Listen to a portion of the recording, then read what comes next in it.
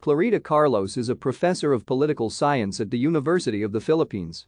She is executive director of the StratSearch Foundation Incorporated, a policy research think tank. Cite error, a tag is missing the closing dot. From 1998 to October 2001.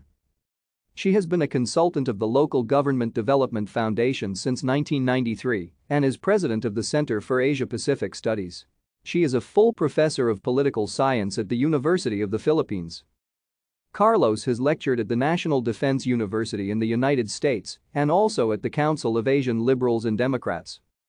Carlos's areas of expertise range from Philippine politics and government, political dynamics, comparative politics, international relations, political theory and methodology. She has written numerous books and articles about Philippine electoral and political party systems. Her commentary as a political analyst has been featured in the news media her political commentary is also quoted in the news. Carlos is a recognized pioneer in political psychology in the country. Thank you for watching. Like and subscribe if you would like to view more of our videos. Have a nice day.